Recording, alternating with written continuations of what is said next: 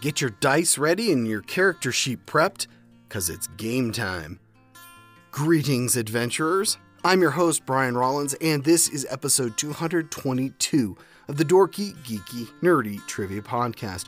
For this week's topic, we've got Dungeons and Dragons trivia. That's right, that classic role playing game from the 1970s that's still a big hit to this day. And with the new movie in theaters, what better time to tackle the subject? If you're a new listener, welcome to the party. Every week, DGN has a new topic and 30 trivia questions. I ask and you answer. It's like your own private Jeopardy game without that contestant interview in the middle. If you want to learn more about the show, check out dorkygeekynerdy.com.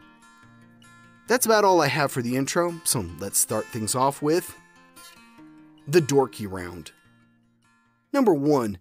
D&D was first published by what company?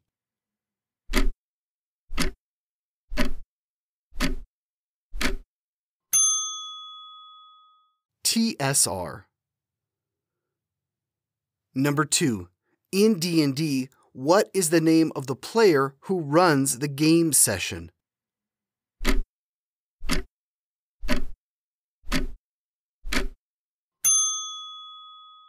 The Dungeon Master, or DM. Number 3. Who currently publishes Dungeons and Dragons?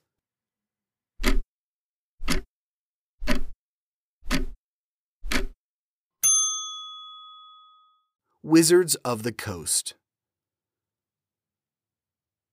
Number 4. What 2016 TV series repopularized D&D?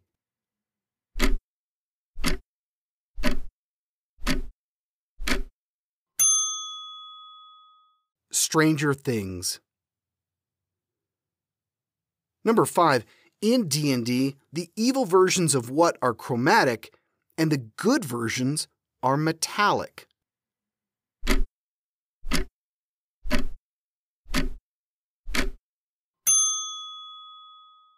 Dragons. Number 6. Who plays Edgin in the recent Honor Among Thieves film?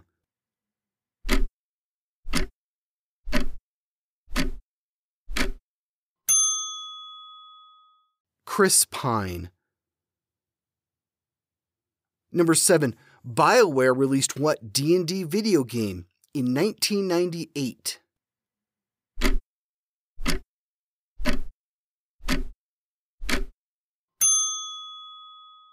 Baldur's Gate. Number 8. What is the most popular campaign setting for D&D?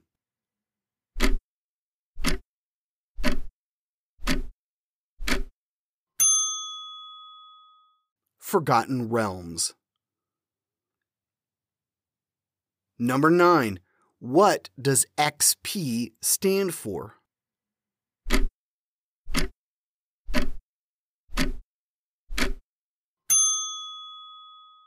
Experience points. Number 10. What D&D race is based on Tolkien's hobbits?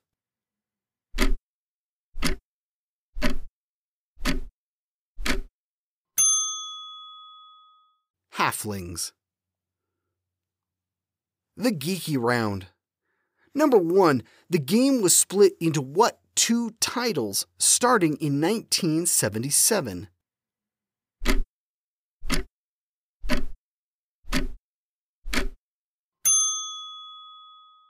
Basic and Advanced Dungeons and Dragons. Number two, what pair is credited with creating Dungeons and Dragons?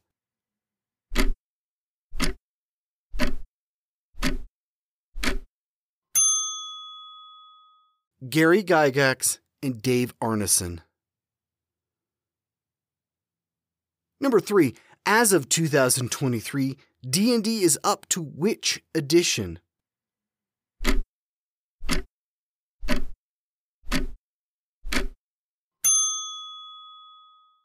Fifth edition.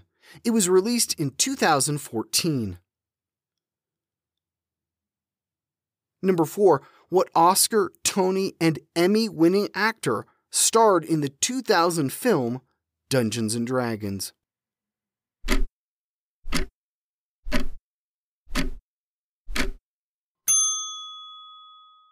Jeremy Irons. Number 5. What is NPC short for?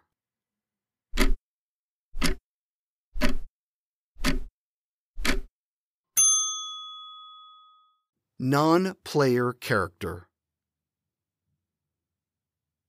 Number 6. What duo created the Dragonlance series of D&D novels?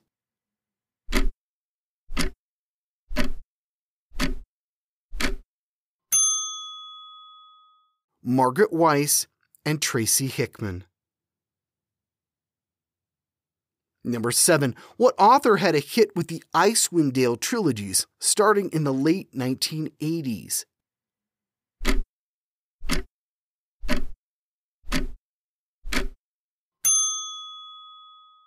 R.A. Salvatore. Number 8. What was the first D&D PC video game?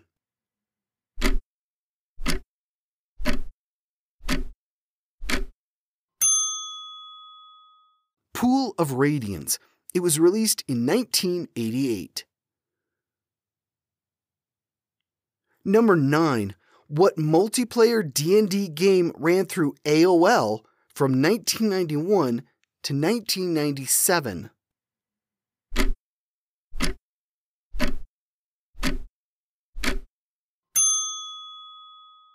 Neverwinter Nights. Number 10 which D&D campaign setting is based on gothic horror novels of the 19th century.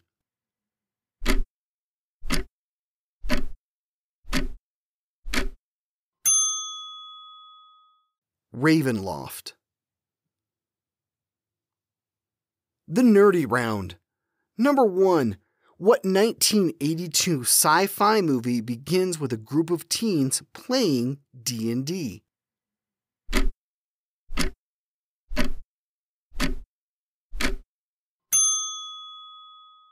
E.T. the Extraterrestrial. Number 2. The Dungeons and Dragons cartoon debuted in which year?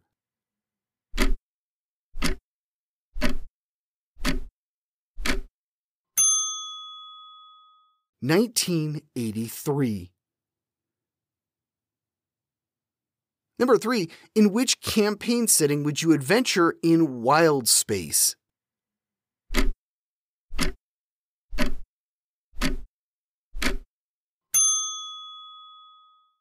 Spelljammer. Number 4. D&D was inducted into which Hall of Fame in 2016?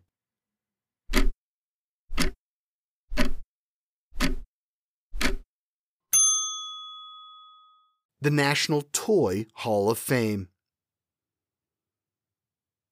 Number 5. How many theatrically released D&D films have there been?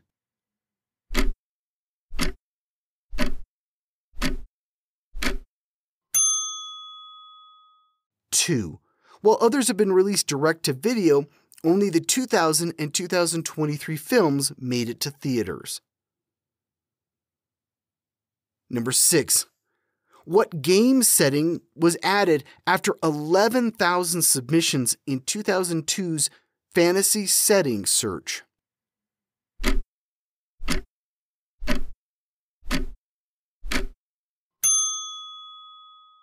Eberron.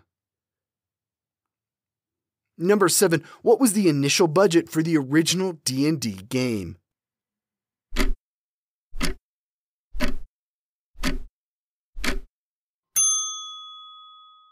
$2,000.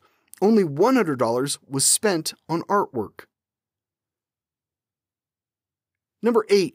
For the last several versions, what are the three core rulebooks?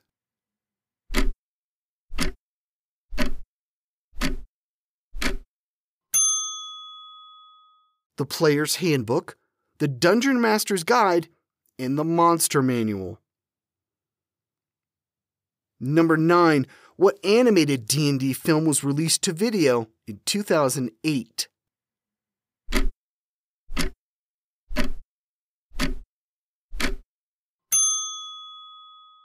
Dragonlance, Dragons of Autumn Twilight.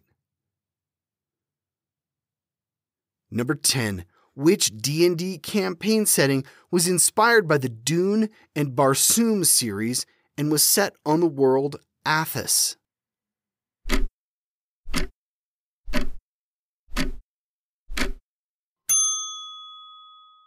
Dark Sun.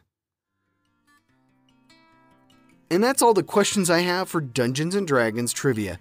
I used to play way back when, and someday I'll get back to it. If you do play, reach out to me on Facebook or Twitter and let me know what class and race you prefer. I always felt I needed to play a cleric of some kind to keep the players patched up and on their feet. I'll be back here next week with another episode and another 30 questions. Here's a hint as to the topic. What superhero team first appeared in Marvel Superheroes number 18 in 1969? So many superheroes, so little time. See you back here next Wednesday. This has been episode 222 of the Dorky, Geeky, Nerdy Trivia Podcast. The theme music is by Jason Shaw at Audionautix.com. This podcast is written, produced, and hosted by me, Brian Rollins. You can find out what else I'm working on, including various audiobook projects, at thevoicesinmyhead.com. Thanks for listening, and here's to hoping you roll nothing but 20s all week.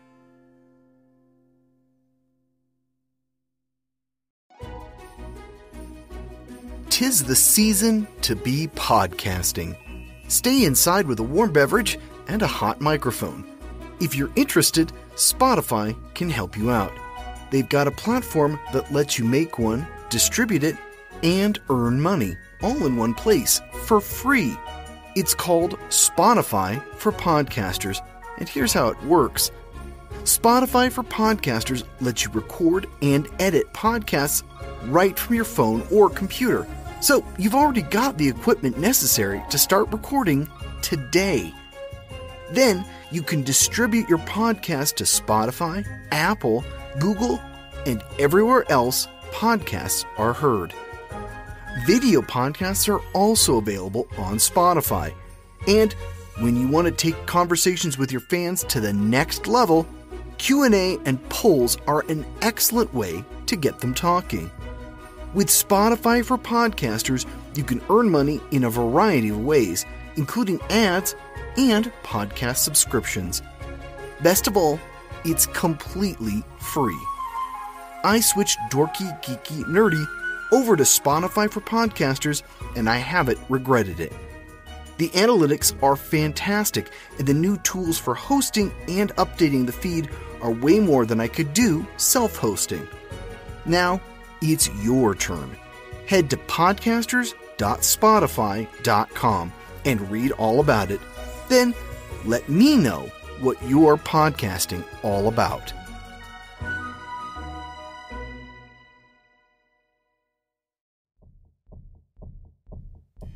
The best kept secrets in 2041 America are the deadliest ones. A mysterious scarlet haired jazz singer, a rebel on a motorcycle, and a killer with a penchant for torture. Food is scarce, good jobs the rarity, and Big Brother is watching everyone. Will Jack and Tom's family be torn apart in the mayhem? And how far will one brother go to save the other's life? In 2041, America is rife with ghettos and armed checkpoints, and poverty runs rampant. A bloody civil war is brewing, and everyone will be forced to take a side. Education is the only way out of a life where you're never sure where your next meal will come from or what you'll have to do to get it. Tom aced his assessment tests and scored an education contract giving him a way out of poverty. Jack isn't so lucky. Tom must break every rule he's lived by and go head to head with a psychopath if he's to have any chance of saving his brother, and just maybe keep America from reaching the fracture point. Fracture Point by Jeff Altabef is book one in the Point Thrillers series. Audiobook available now on Audible and iTunes.